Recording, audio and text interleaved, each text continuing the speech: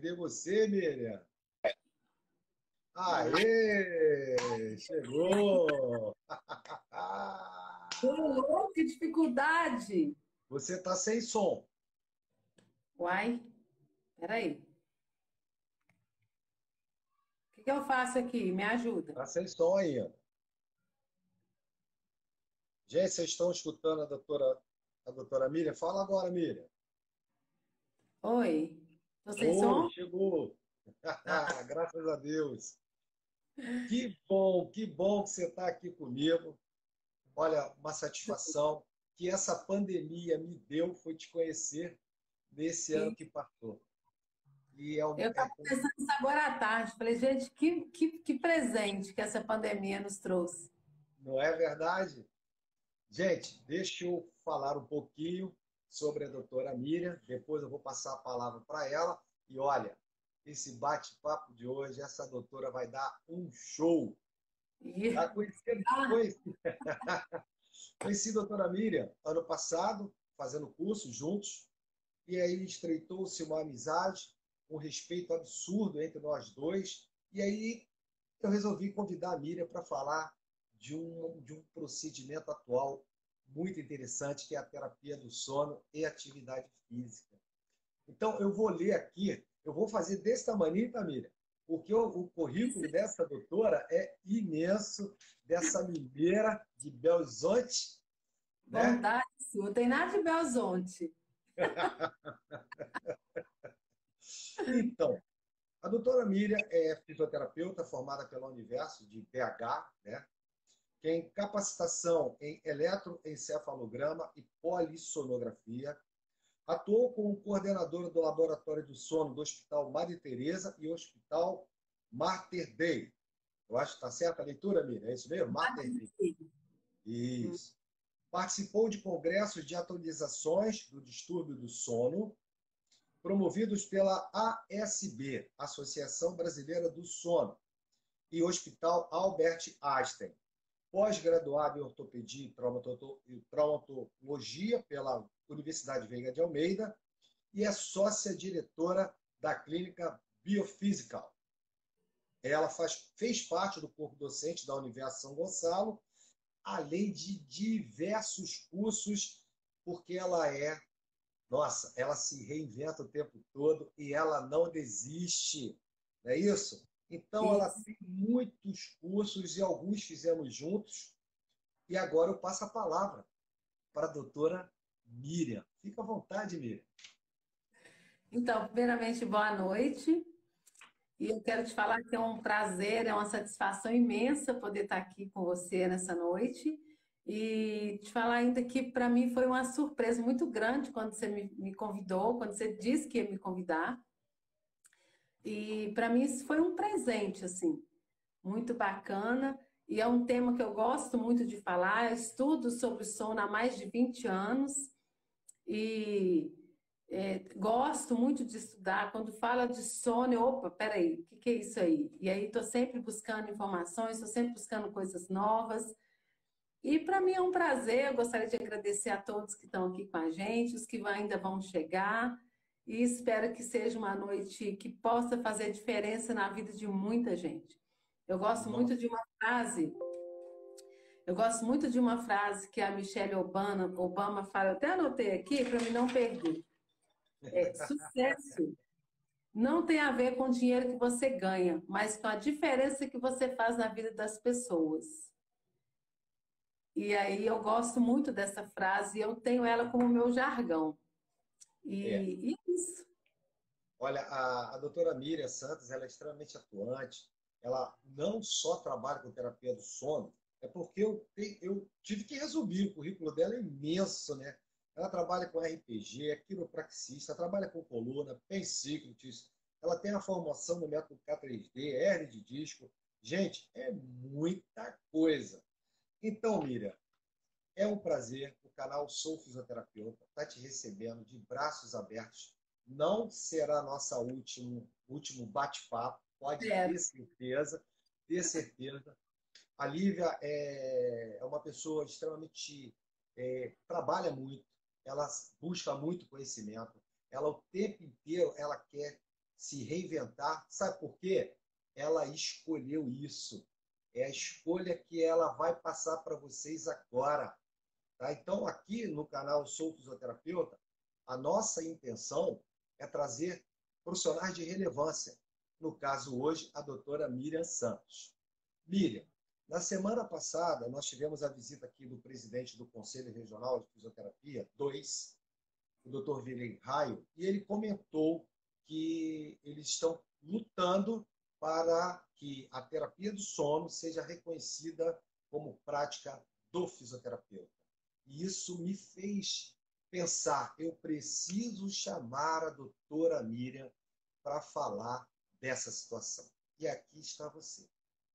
Aqui está preparada para as perguntas, doutora? Muito. Então, vamos lá. Vamos lá. E se eu não conseguir responder aqui, prometo que eu vou estudar e respondo posteriormente. Com certeza. Vamos Isso lá. Aí. Primeira pergunta, doutora Miriam Santos. Qual o melhor horário para se fazer atividade física? Então, na verdade, não existe um melhor horário. O ideal é que se faça atividade física até duas horas antes de você dormir. Por quê? Que, aliás, o nosso tema hoje é, é atividade física e qualidade de sono, né? Porque as pessoas às vezes falam assim, nossa, eu gosto de fazer atividade física, eu chego à noite em casa, trabalho, mas chega à noite eu faço e tal. E isso é, não é recomendado pela Associação Brasileira do Sono, porque entende-se que é, durante a atividade física é produzida adrenalina. E essa adrenalina, ela, ela, ela favorece o estado de alerta. Fora que, quando você está fazendo atividade física, você tende a, a aquecer o seu corpo. E, na verdade, quando vai dando uma noitezinha, quando vai chegando o próximo horário de você dormir, é importante que essa temperatura comece a cair para favorecer o sono espontâneo e um sono de qualidade. Então, o ideal é não fazer atividade física, é, aliás, é fazer até duas horas antes de você ir para a cama. Isso aí é uma Eu... grande. É, muitos pacientes perguntam isso e alguns profissionais não sabem dessa informação. Olha não, como não. foi relevante. Interessante, né? Sim. Vamos lá, doutora Miriam. É, quando é que a atividade física pode prejudicar a qualidade do sono? Olha, tem muita gente que está te escutando agora querendo saber isso. Vamos lá, responde essa, essa pergunta é sensacional. Quando a atividade física pode prejudicar o sono é quando você faz atividade física pesada entre de duas horas a duas horas e meia antes de você ir para a cama. Esse tipo de atividade física não vai te favorecer uma noite de sono, um sono reparador. Doutora Mira, então o que, que você é, classifica como atividade pesada física? O que, que significa isso? Musculação, tá? Musculação. Qualquer coisa que te leve a um estresse, a, a, a um estresse físico, até mesmo a corrida, se for uma corrida muito que vai te aquecer demais, que vai te fazer é, liberar muita adrenalina, porque a corrida ela acontece isso, né? Isso vai, isso pode favorecer sim uma noite de mais, uma noite de vigília que a gente chama. É, né? Então a pessoa tem um sono muito superficial ou não dorme direito, né? Sono ah. superficial. Qual que é a questão do é, de produzir? O que, que é um sono, um sono reparador e um sono espontâneo? Vou só colocar isso aqui que eu acho que isso é importante estar falando, porque não é simplesmente dormir. A pessoa vira para você e fala assim: ah, mas eu durmo bem. Só que esse dormir bem é muito diferente. Porque o dormir muito, tem pessoas que confundem dormir muito com dormir bem. Quando você tem pessoas que dormem pouco, mas, dormem, mas têm um sono de qualidade. Outras dormem muito e não têm um sono de qualidade. É aquelas pessoas que acordam pela manhã e falam assim: nossa, eu dormi a noite toda, mas parece que não dormi nada. Eu acordei um caco. Era essa pergunta que eu ia te fazer. Como é ter um sono de qualidade? Olha que legal. Ela já entrou. Fica à vontade, fica à vontade, fica à vontade. Pode falar. Mas é porque eu acho que tem muito a ver com a pergunta que você falou, porque as pessoas confundem muito. Não, atividade física me faz deitar e apagar. Mas apagar é entre aspas, porque nem sempre você apaga com qualidade. Entende? Então, assim,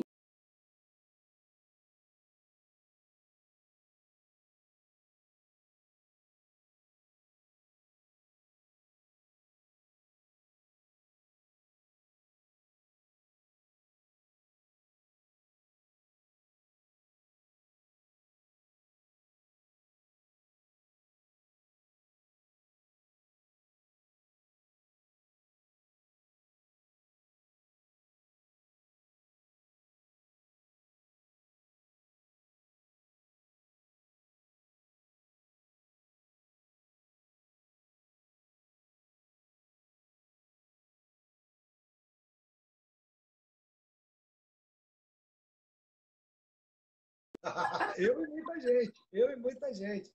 Então quer dizer que dormir muito não é dizer que tem uma boa qualidade no sono. Não. Olha isso. Interessante, interessante. Não é. interessante. É. O que acontece? Conduzir, conduzir uma, um bate-papo chega a ser, ser, até engraçado, porque acaba que você entra dentro do problema, né? Eu tô Sim. aí, eu tô, vou anotar isso, vou assistir esse vídeo depois. E você que está nos vendo aí, ó, nós estamos lá no YouTube, vai ficar gravado lá e não deixa de ir lá fazer sua inscrição. A doutora Miriam, ela está aqui para te ajudar, para participar do seu processo evolutivo. Então, você acha que está dormindo bem? Escuta essa doutora aí, o que ela está falando para você. Ó, eu estou aqui, ó, escutando, escutando. E aí, Miriam, como é que eu vou saber se eu tenho sono de qualidade? Como é que eu sei isso?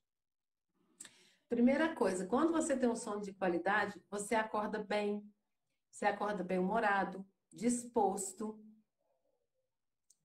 Ah, tá? Então, assim, dentro do sono de qualidade, a gente fala muito, é, voltando aí essa questão de dormir muito, dormir pouco, inclusive dentro da Associação Brasileira do Sono, existe uma classificação do dormidor curto e dormidor longo.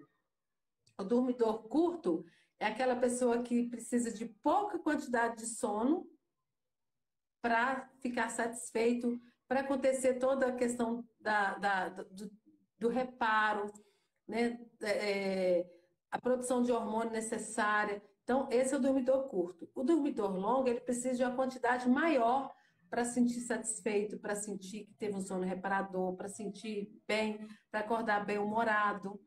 Um exemplo clássico aí entre eu e a minha filha. Eu sou dormidora curta. Eu posso dormir uma hora da manhã. Se eu tiver que acordar às seis horas da manhã, eu acordo bem, bem humorada. É, se precisar, eu, eu, às vezes eu acordo rindo de mim mesma e acordo sempre bem. A minha filha já, ela precisa de dormir mais para acordar bem. Tem ela um tem... horário certo para dormir, ou Miriam? Tem um horário certo? Como é isso? Cada um tem o seu horário? Cada um tem o seu horário. Hoje mesmo eu atendi um paciente, ele começou, iniciou o tratamento hoje, e ele relatou para mim que se ele dormir todos os dias, ele acorda às 4 horas da manhã. E que ele já percebeu que se ele dormir 9 horas da noite, ele acorda às 4 horas da manhã. Se ele dormir 1 hora da manhã, ele acorda às 4 horas. Se ele dormir 3 horas, ele acorda às 4 horas. E aí a gente, aí nós começamos a conversar e eu falei com ele, então nós vamos ter que fazer uma educação do sono. Você já percebeu que se você deitar mais cedo, você consegue dormir até quatro horas. Então a gente precisa melhorar esse, esse, esse sono aí. E ele já relatou que quanto menos ele dorme, mais dor de cabeça ele sente. Olha. É. Então eu falei para ele, então vamos aumentar aí, vamos, vamos começar a é, fazer um ritual. Entre 9 e 10 horas você vai para a cama, vai dormir. Aí você vai fazer todo esse protocolo, a higiene do sono, tudo aquilo que eu que eu tenho, eu tenho um, um eu tenho um, um método de, de tratamento para poder melhorar a qualidade de sono. E aí eu passei para ele todo esse método e aí ele ensinei para ele algumas técnicas para ele fazer e, e, foi muito bacana que ele ficou, ele saiu assim, já querendo marcar para a filha, para a esposa, para não sei quem, ele saiu assim muito, foi muito legal. Ele falou: "Nossa, doutora, eu quero eu, eu tenho certeza que eu vou melhorar. Falei assim, isso é que é importante. É você querer. E aí, é, e aí essa, né, só para é, finalizar esse, esse, parágrafo aí, entre dormidor curto e dormidor longo, e para complementar essa pergunta que você fez. Tem um horário para ir para a cama? Não. Normalmente, o ideal é você, se você sabe que você é um dormidor curto, você do, do, dormindo pouco, você consegue acordar bem, consegue produzir bem no dia seguinte, consegue desempenhar bem o seu papel onde quer que você trabalhe, ótimo. Agora, se você viu que você acorda com, com mau humor, não fica com muita sonolência diurna, fica, né, tem um baixo rendimento, então, ou você tem uma má qualidade de sono, ou você é um dormidor longo. Ah, entendi. Então, agora vem uma, uma pergunta muito simples. Mas você atende e tem muitos fisioterapeutas que irão ver esse vídeo, que agora não poderão estar vendo. É, estudantes de fisioterapia e pacientes, que eu convidei todo mundo. Tem idade para ter problema no sono, Miriam? Ou criança pode ter? Criança pode ter, inclusive. Principalmente quando é, aquelas pessoas que, tem, que não têm um, um hábito de, de ir para a cama cedo, deixa a casa muito acesa, deixa a casa muito acesa, tudo muito, muito iluminado. Isso aí prejudica a qualidade do sono. Por quê? Porque quando, quando vai chegando à noite, o ideal é você deixar o ambiente mais, é, é um pouco mais escuro, não nem tanta claridade, porque o seu próprio organismo, lá na glândula pineal, ele começa a produzir melatonina. E essa melatonina, ela já vai sendo produzida com menos luz. Quanto mais luz, menos produção de melatonina. Ah, então já escureceu, é já está produzindo melatonina. Já tem hormônio do sono chegando. Escureceu. Já tem hormônio do sono chegando. A, a, escureceu, já tem hormônio do sono chegando. Se você clareia mais o ambiente, esse hormônio vai ser inibido. Interessante, interessante isso. E, e caramba, é, é, olha, gente, é muita pergunta. Eu tenho que segurar aqui, eu tenho que segurar, porque senão não vai acabar essa live. Por isso vão ser duas, tá? É, o nosso bate-papo, eu estou controlando o horário aqui, ele vai ter uma duração de 50 minutos, como eu falei com a doutora Miriam. Aí a gente vai se despedir e logo mais, outro dia, a doutora Miriam vai voltar. Porque ela tem muito conteúdo para passar para gente. Tem muita coisa que essa mineira tem que passar para a gente. Como posso melhorar a minha qualidade do sono, Miriam? Eita. Na verdade, tudo isso que eu falei aqui já é um, já é, é já são, né, pontos que você pode melhorar. Por exemplo, é, deu a noitezinha, evitar tomar é, evitar muita claridade, né? Porque a gente já sabe que escureceu, a, a glândula já começa a produzir aí a melatonina. E então é importante. Eita, desculpa aí. Não, tá legal, é... tá legal. Tá ótimo, amiga. Tá ótimo. E é importante, Blay, assim, e é importante você é, é, trabalhar essa questão de horário para criar um ritual, entende? Para criar um ritual para você dormir. Melhorar o ambiente do quarto, evitar cheiro muito forte, é, tentar procurar um ambiente mais, mais escuro. É, televisão. Tem pessoas que falam assim: ah, mas eu adoro dormir vendo televisão. Era a pergunta que... que eu ia te fazer agora. Era a pergunta que eu ia te fazer agora e a televisão. Porque assim, é, é, o que eu sempre falo. Será que esse sono é de qualidade? O importante não é dormir. O importante é você dormir um sono de qualidade. Entende? E aquela história que a gente recebeu, ah, toma um leitinho quente antes de dormir, isso rola? É verdadeiro isso? rola. O pior que rola. Olha, eu não, eu não imaginava a repercussão que ia ter quando eu tenho um canal no YouTube também, né? A gente, você conhece o meu canal, doutora Miriam Santos. Pode e falar, lá fica à vontade, à vontade. Coloquei lá um, um, vídeo, não consigo dormir.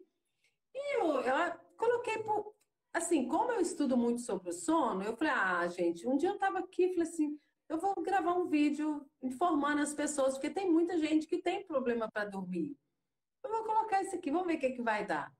eu estava sem, sem temas, sem, sem muita inspiração e coloquei. Eu não imaginava a repercussão que ia ter. Nossa! E aí o negócio foi desembolando, desembolando, e, e inscritos, e, e, um tanto de gente me perguntando. E aí começaram, começaram a comentar nos vídeos, no vídeo, inclusive, aí foram falar do leite morno, porque lá eu falo do leite morno com açúcar. E aí, eles, aí tem alguns comentários lá dizendo assim, é, nossa, eu já tentei tudo, Agora eu só vou, eu vou tentar o leite morno para ver se funciona. Aí eu coloquei lá assim, ok, é, tenta e depois volta aqui falar para a gente. Aí uns dias depois ela voltou e colocou, nossa doutora, muito obrigada. O leite morno funcionou. Eu até parei de tomar meus medicamentos para dormir. Uh, olha, é olha, esse comentário me deu vontade de chorar. Sabe por quê, Brian? Porque o dia que eu coloquei o meu pé dentro da faculdade, eu falei assim: eu não quero ser um fisioterapeuta qualquer. Eu quero ser uma fisioterapeuta que eu venha fazer diferença na vida das pessoas. Aê! e eu falei isso chorando, porque eu falei assim: eu quero ser diferente. Por isso eu procuro buscar coisas diferentes, eu procuro estudar coisas diferentes, porque fazer alongamento, fortalecimento, isso aí todo mundo faz, né? e eu a gente quero... conversa muito eu com essa doutora, a gente conversa muito. Eu vou te fazer uma pergunta. Tem, tem dias que você sai nove da noite do seu trabalho, da sua clínica, do seu espaço. Você Isso. dorme bem quando você chega em casa ou você ainda está no clima da, da clínica? Você ainda está dentro da clínica? Como é que você faz? Olha, para começar, na hora que eu entro do portão para dentro, eu me desligo totalmente. Me desligo totalmente. Chego em casa, da porta para dentro eu falo, eu não sou fisioterapeuta, eu não sou, eu sou a Miriam que trabalhou o dia inteiro e eu preciso só descansar. Eu já entro, se eu tiver que ler alguma coisa, eu já leio rapidinho, mas tomo banho e já vou me preparando para dormir. E fico tranquila. Às vezes eu estudo até meia-noite, até uma hora da manhã, mas como eu sei que eu sou uma dormidora curta, eu já sei que se eu for dormir uma hora da manhã, eu vou dormir bem e eu acordo super bem e no outro dia eu tô, eu tô ótima e está tudo bem. É isso aí, doutora, é isso aí. Agora uma pergunta que eu tenho algumas pessoas, alguns grandes amigos, que falam assim, Blair, eu deito e não consigo dormir. O que, que essa pessoa tem que fazer, Miriam?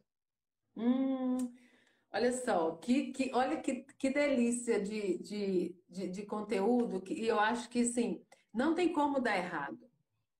90% das pessoas que eu falo faz isso elas e, e dá certo. Eu não sei, acho que está até aqui. Eu tenho uma paciente que eu atendi de Ceará. Ela tinha enxaqueca 24 horas por dia. Não, ela, assim, o marido dela me procurou, ele assistiu esse vídeo, no YouTube, e aí ele me procurou, falou assim, pelo amor de Deus, ajuda a minha princesa, ele falou para mim. Aí eu fui conversando com ele e aí eu comecei a atender ela. Laí, a única coisa que ela precisava era regular o sono dela, mais nada. No primeiro atendimento eu perguntei para ela, você quer? Você está disposta? Porque assim, quando você fala da higiene do sono, higiene do sono é uma reorganização ou mudança de hábitos. Então, isso a pessoa precisa querer, certo? A pessoa precisa querer. Se a pessoa quiser, não tem nada que muda. Então, dentro da higiene do sono, eu tenho, tenho uma técnica que é infalível, que é a técnica da respiração. Opa, opa, vamos lá. Várias técnicas lá dentro da higiene do sono. Tem um protocolo, inclusive, que eu criei esse protocolo, é um passo a passo para você dormir. Por exemplo, você chegou em casa, toma banho, faz isso, faz isso, faz isso, faz isso. Por último, você vai fazer a respiração. Deitou, você vai fazer a respiração. Tem várias coisas dentro desse protocolo, mas a, a, finalmente é a respiração. Você deita, por que a respiração? Porque, olha que, que, que bacana. Quando você, quando começa a escurecer, a glândula pineal, ela começa já a produzir melatonina. Mas tem outros órgãos que também produzem melatonina, como o pulmão. Então, se você deita, depois de deitado, você começa a fazer uma respiração, a gente chama de 765. Você puxa o ar contando até 7. E aí sustenta por 6 segundos. E aí solta contando até 5. Você faz 10 vezes. Na oitava, você, não consegue terminar. Já estou fazendo, já estou começando a ficar com sono aqui, Miriam. Mas é não é? é, mas eu estou te falando assim, é uma coisa de verdade. Essa paciente minha do Ceará, a gente terminava, quando a gente terminava o atendimento, eu estava morrendo de sono, eu não conseguia fazer mais nada. Porque eu, eu trabalhava com ela as técnicas, e aí ela, e, e a gente começava, terminava, despedia abrindo boca, e, e falei, nossa, vão dormir porque é então vamos lá, vamos, repetir, Mira. Vamos ver como é que é? Puxa o ar. Puxa o ar. Mantém por quanto tempo? Com os olhos fechados, deitado, tá? Porque você tá. vai prestar atenção na sua respiração. Puxa o ar, contando até sete. A sua expiração, a sua inspiração tem que durar até sete segundos. Sustenta seis segundos e solta em cinco segundos. Isso. Deixa eu repetir, vamos lá. Puxa em, em sete. Sustenta em seis. E solta em cinco. E vai Quantos de novo. Ciclos? Quantos ciclos? Dez, dez ciclos. Dez ciclos. Dez ciclos. No Vou oitavo, no sétimo e oitavo, você já, já está para lá de Bagdá. Vou fazer hoje, vou fazer hoje. Doutora Miriam, uma pergunta agora. Todo mundo, todo mundo, todo mundo está tomando o tal do remedinho para dormir. Você já conseguiu, com seus protocolos, tirar esse remedinho? É, falhou aí. Repete de novo o finalzinho. Vamos lá. Todo mundo, tá todo mundo tomando lá o tal do o triozinho, o Rivotril, fala baixo, rápido, né? Para dormir. É. A gente consegue, você consegue tirar esse esse remedinho com as técnicas que você usa? Dá para tirar? Olha, eu, eu costumo dizer o seguinte: todo tratamento, 50% é o profissional e 50% é o paciente. Então, assim, não adianta eu colocar um protocolo para um paciente que ele não tem um comprometimento em estar tá fazendo aquilo que foi colocado para ele fazer. Hoje eu falei com o paciente no consultório.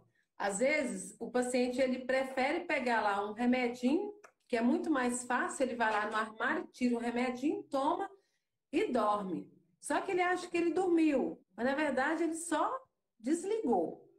Porque os efeitos os benefícios do sono ele não vai ter. Ele não ah, vai ter os ah, benefícios do sono. Entendi, entendi. Entendeu? Você, você falou que quando chega do trabalho, você tira o jaleco, entra em casa, os problemas ficam lá fora. Sim. E aquela pessoa, é, eu, por exemplo, quando eu dou aula à noite, aí eu chego em casa, no presencial, eu ainda estou com a matéria na cabeça, com os problemas da sala de aula na cabeça, e quando eu vou deitar, fica aquilo tudo borbulhando na minha cabeça. O que, que eu faço? Adoro. Quando as perguntas falam isso. Essa pergunta foi para mim. Hoje eu falei, inclusive, eu falei, eu, estou te falando porque hoje, coincidentemente, eu atendi um paciente hoje e a gente trabalhou essa terapia do sono. E eu falei, dentro do dentro das orientações, você vai, se você não tiver, aliás, você não vai pegar qualquer qualquer caderneta, qualquer papel, qualquer nada. Você vai comprar, você sai daqui. Imagina que isso é um medicamento para você. É como você sair do consultório médico e passar na farmácia e comprar um remédio. Você vai sair daqui, vai passar numa livraria, vai comprar uma, caderna, uma, uma cadernetinha ou um caderninho, vai deixar do lado da sua cabeceira com a caneta. E antes de você deitar, que é uma das estratégias também do, da higiene do sono, antes de você deitar, você vai passar tudo para o papel que está te deixando ansioso, alguma coisa que você não conseguiu resolver durante o dia. E de tudo aquilo ali que você escreveu, você vai colocar o que você conseguiu resolver e o que você não resolveu, tudo no papel. Gostei Aí eu tenho, Aí eu tenho uma paciente que ela é muito engraçada. Ela falou assim, Miriam, mas se eu for colocar tudo no papel que está me incomodando, eu vou ter que comer esse papel no dia seguinte.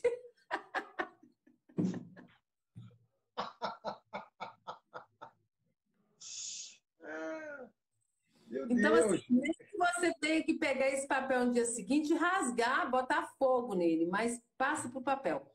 É uma técnica que chama esvaziamento cerebral. Adorei isso. Adorei é. isso.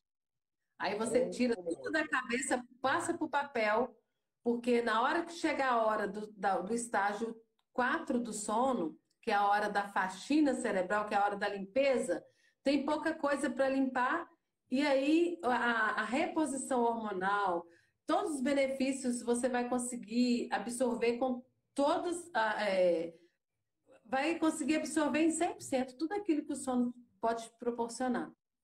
Sensacional, as suas respostas são bem objetivas, está todo mundo te elogiando, absurdo. Você está de parabéns, Miriam. Nossa, é. Miriam, quando você está avaliando o seu paciente, você usa um raciocínio acelerado para chegar às conclusões de como você tem que agir na terapia do sono? Como é que você faz isso? Você acelera, você observa detalhes importantes. Como é que você avalia? Na avaliação, na verdade, a, a princípio, eu, eu, eu, escuto muito o paciente, porque muitas vezes é isso que ele precisa. Muitas vezes ele não tem ninguém para falar muita coisa. Então, assim, é, a, o tratamento, ele inicia com a entrevista, mas na verdade a entrevista é simplesmente o que eu posso te ajudar e eu deixo ele falar tudo que ele tem vontade, tudo, tudo, tudo, tudo, tudo. Questão emocional, questão física, como que está a família, se é casado, se não é, como que é o relacionamento com os filhos, e deixo falar tudo. E depois que ele fala tudo que ele tem vontade, aí eu explico o porquê que ele precisa de, de, de entrar no sono na primeira fase do sono, na segunda, na terceira, o que acontece, os tipos de hormônio que vão ser liberados. Eu dou uma aula para ele. Então, quando eu vou examinar, normalmente eu faço é, a, o, o, exame físico, na verdade, o toque, é para olhar as tensões musculares, é para olhar a aceleração cardíaca, é para olhar, para fazer um exame do sistema nervoso simpático e parasimpático, porque existe uma equipe. Nossa, existe um nossa. aí que é muito trabalhado, inclusive a primeira intervenção é para regularizar o sistema nervoso simpático e o parasimpático, sistema nervoso autônomo. E essa regulação, ela é feita no, na primeira intervenção. Primeira coisa que a gente faz, primeira coisa que eu faço é fazer uma regularização desse sistema nervoso autônomo. Por quê? Porque arruma, quando você não tem uma boa qualidade de sono, eles arrumam uma confusão. A hora de, do sistema nervoso parasimpático entrar, o simpático está a mil por hora acelerado o coração, pupila dilatada, que trem, e aí o, o parasimpático fica inibido. Então a gente trabalha isso aí, trabalha essa regularização do sistema nervoso autônomo, né? E tanto pelo plexo sacral, plexo torácico, plexo cervical e assim, é muito é muito bacana, é muito lindo, porque a pessoa oh, hoje eu vendo os olhos daquele paciente na hora que ele saiu do consultório, eu falava assim, eu falava, Deus, muito obrigada. Muito obrigada por, por eu fazer uma coisa diferente, porque quando você fala de terapia do sono, as pessoas não têm noção o que, que é isso. É. E, e vem cá, você chegou na terapia do sono ou a terapia do sono, sono chegou até você? Como é que foi isso? Como a é terapia do sono chegou até mim. É, na verdade, o que acontece? Quando eu trabalhava no, no hospital aqui na minha cidade, o Hospital Madre Teresa, e eu, eu sempre gostei muito de tudo que vem à minha mão para fazer, eu tento fazer da melhor forma possível, sempre. Então, eu trabalhava, eu fazia eletroencefalograma no hospital. E aí, eu comecei a estudar muito sobre eletroencefalograma. Muito, muito, muito. E aí eu começava, e a gente discutia, eu e os médicos, a gente discutia muito sobre eletrocefalograma.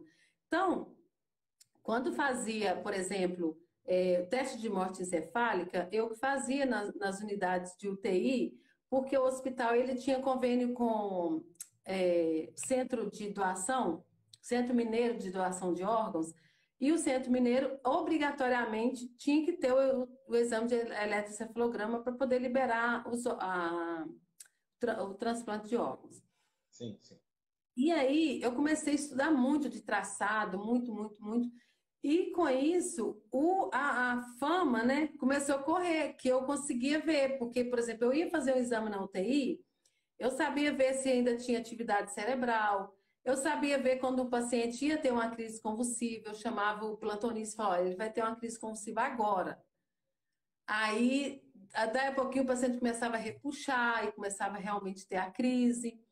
E, eu, e com isso, o chefe da, do, da, do laboratório do sono ficou sabendo. E deu uma confusão, porque assim, o pessoal da neuro gostava muito do meu trabalho. E o, o, o pessoal da pneumo, que, que era o pessoal do sono, ficaram sabendo. Aí foi lá na irmã, na supervisora geral. Tirou você. E pegou. Olha, eu quero ela lá no laboratório do sono. E aí, a primeira reunião que a gente fez no laboratório do sono, o pessoal que, que, que me recebeu, as, as médicas pneumologistas responsáveis, elas falaram para mim assim. Aí elas começaram a falar do traçado. Quando elas começaram a falar do traçado, aí eu falei assim: ah, mas essas ondas alfas, elas esse, esse paciente não está em estado de alerta, ele está sonolento. Olha essas ondas, olha essa onda tal, olha essa onda teta, essa onda beta. Aí ela olhou para mim assim, aí eu fiz uma pergunta, ela ficou assustada, porque ela não soube responder. Só que eu sabia responder. E aí eu respondi. Aí, e aí, é.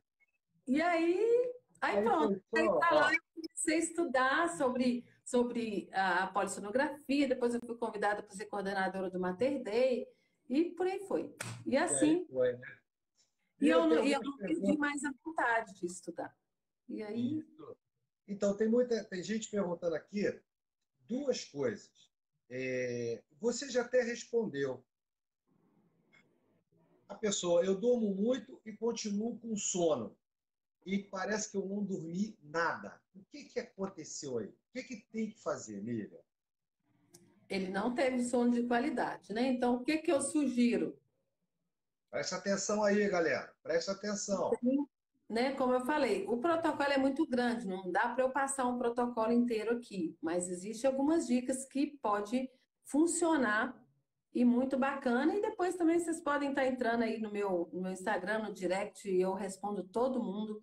É muito interessante que é, lá no meu canal tem, uma, tem um vídeo, inclusive foi uma entrevista que eu dei numa TV aqui ao vivo, TV Super, uma entrevista ao vivo que eu dei lá nessa, nessa sobre aumento de estatura.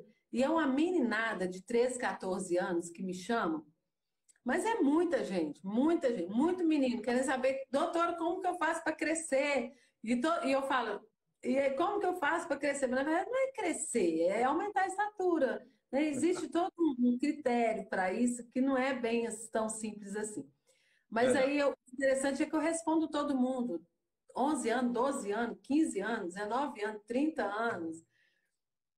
E então, assim, é, eu respondo, tá? Pode me perguntar, pode me chamar lá no direct do Instagram, lá no canal também do YouTube, eu respondo todo mundo tá? Se vocês quiserem, tiver mais interesse em querer saber mais. Mas a, a dica principal que normalmente eu gosto de, de dar é evitar comida pesada durante a noite.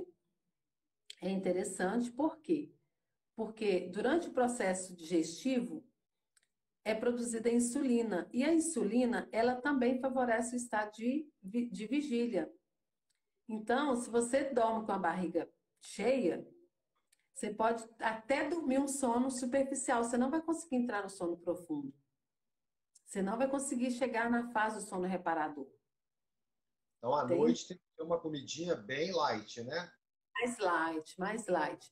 Eu, eu, eu até falo para dar preferência,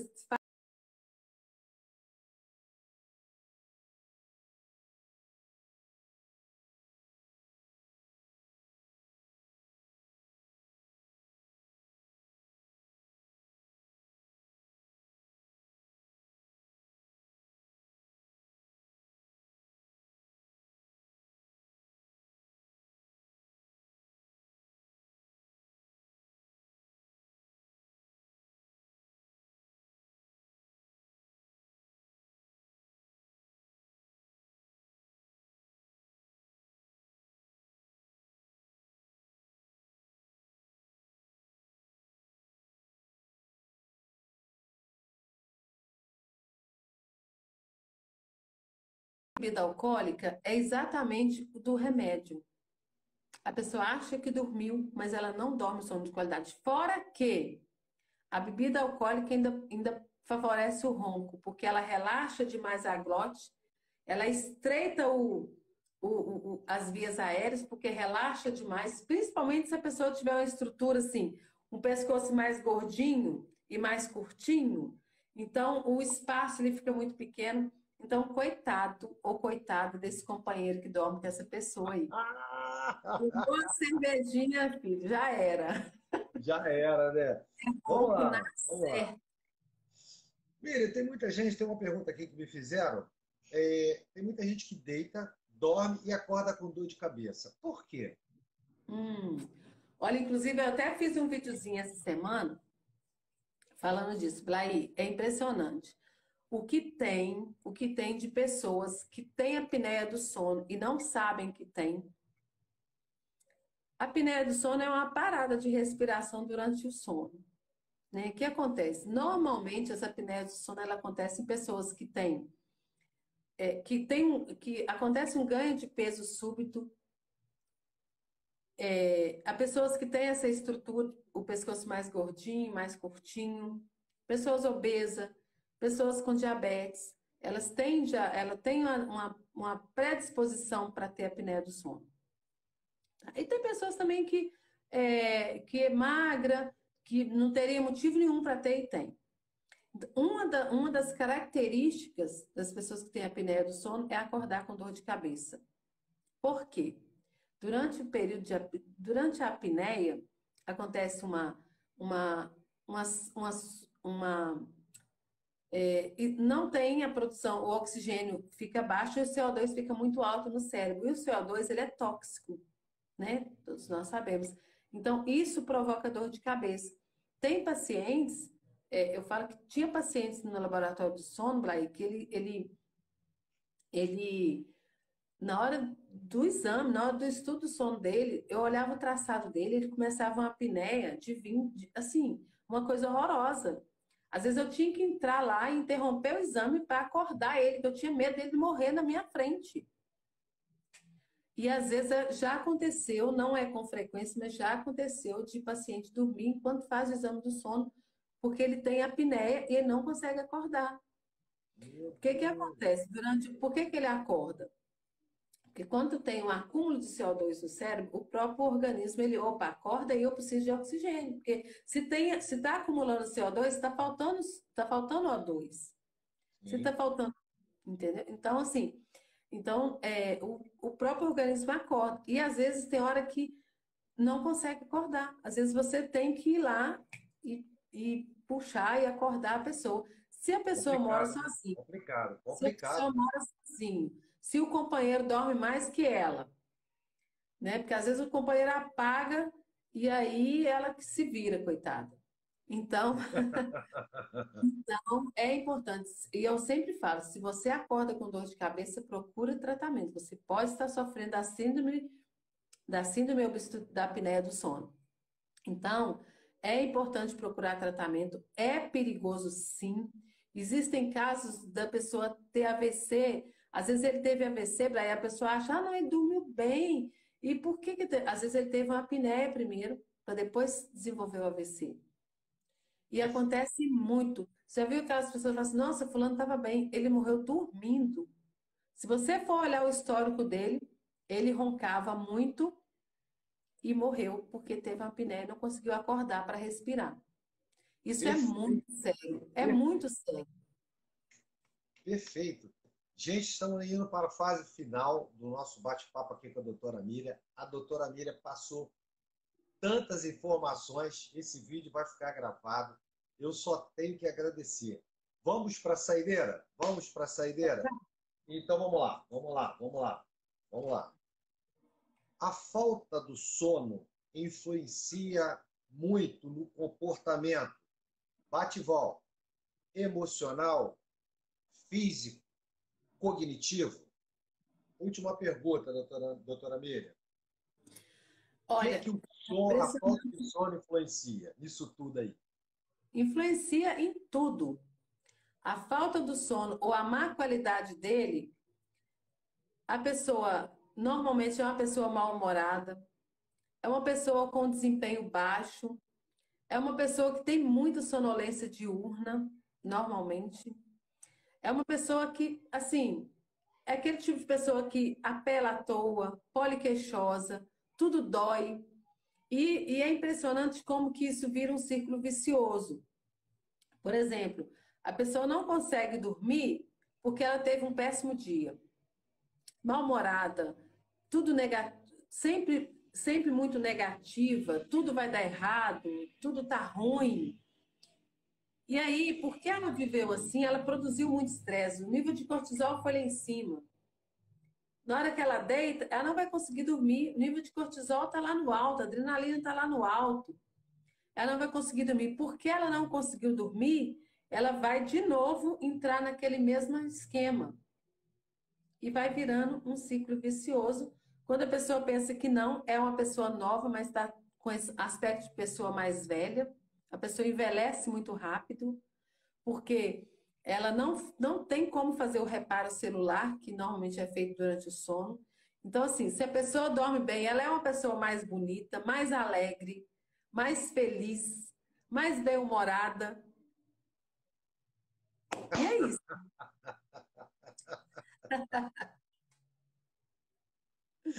mais inteligente. Aí, ó. Doutora aí, a doutora aí. Ai, ai. Gente, gente, nós tivemos um bate-papo sensacional com a doutora Miriam. Breve Agora, ela vai retornar. Tem alguém, oi, oi. alguém perguntou aí como ah. evitar ah. a apneia do sono. Vamos lá. Como... Só vou fechar com isso aí, porque eu acho que é, é muito importante. Porque, assim, uma coisa que, inclusive, foi meu material de estudo, quando ah, foi a minha monografia, eu, eu a, a, o título foi a, atividade, a importância da atividade física na qualidade de sono do portador da síndrome de Down. É, então, assim, é importante, não tem como evitar a apneia, mas tem como você melhorar a sua qualidade de vida, com isso você vai melhorar a sua apneia. Atividade física no horário certo, na quantidade certa, isso vai te ajudar a melhorar a apneia, porque você automaticamente você vai melhorar o metabolismo celular e vai te dar uma melhora da qualidade de sono. E é muito bacana que a gente já fecha a nossa live aí, fechando o nosso, o nosso tema, atividade física e qualidade de sono. Uma boa atividade física dosada, ela vai te ajudar a melhorar as apneias, que é um dos distúrbios do sono que mais mata, de verdade. Olha aí, gente. Escuta a doutora Miriam aí. Doutora Miriam, a palavra agora é toda sua. Se despeça fala o que você quiser, porque está todo mundo muito feliz com o seu bate-papo aqui conosco. Fique à vontade, a palavra é toda sua. Fique à vontade. Pode então, falar o que você quiser. Bom, eu só tenho a agradecer. Estou muito grata mesmo, sou muito grata a você, aí o canal Sou Fisioterapeuta, e eu espero que você possa explodir mesmo. E eu estou aqui para o que você precisar, pode contar comigo. E Agradeço a todo mundo aí que entraram na live, pessoal maravilhoso aí. Tem gente aí, Tia Lu Festas, Silvinha, Tati, um tanto de gente bacana aí. Gente de tudo, ó, tem pessoas do Rio, de, do Sul, de BH. E muito bacana, gente. Muito obrigada pelo prestígio, muito obrigada por tudo. E se você quiser continuar sabendo mais sobre sono, pode entrar lá no meu canal do YouTube doutora Miriam Santos. E no meu Instagram é arroba Miriam Santos, físio. Pode me chamar no direct, porque o meu prazer é poder ajudar pessoas. Isso é, é o meu jargão, né? Olha aí, olha a amizade que eu fiz na pandemia aí. Vocês estão vendo como é que a vida é? Doutora Miriam, muito obrigado. Gente, falamos hoje com a doutora Miriam Santos, terapeuta do sono, fisioterapeuta, minha amiga pessoal e Obrigado, Miriam. Fica com Deus. Uma boa noite. Deus. Valeu, Vamos até a próxima. Gente, eu sou o Dr. Blay Rosa, aqui no canal Sou Fisioterapeuta. Vai lá, se inscreva no YouTube e não deixe de acompanhar os nossos vídeos. Te espero nos próximos vídeos e nas nossas próximas lives. Tchau. Tchau, Miriam. Tchau. Tchau. Pode ir.